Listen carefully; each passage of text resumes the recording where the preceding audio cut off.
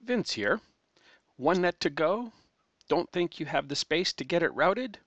Getting that last connection into your design in the most complex area just got easier with scribble mode routing. Simply sketch the path you want the route to take and let OrCAD's interactive push and shove route engine do all the work for you. It's that easy.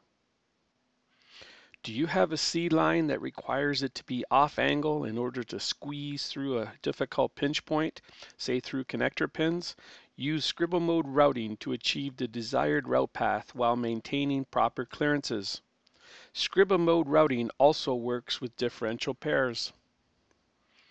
When in Etch Edit mode, select any element with a connection line and commence routing.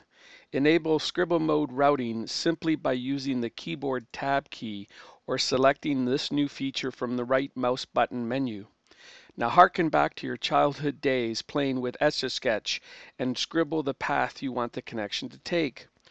It's that simple. Scribble mode.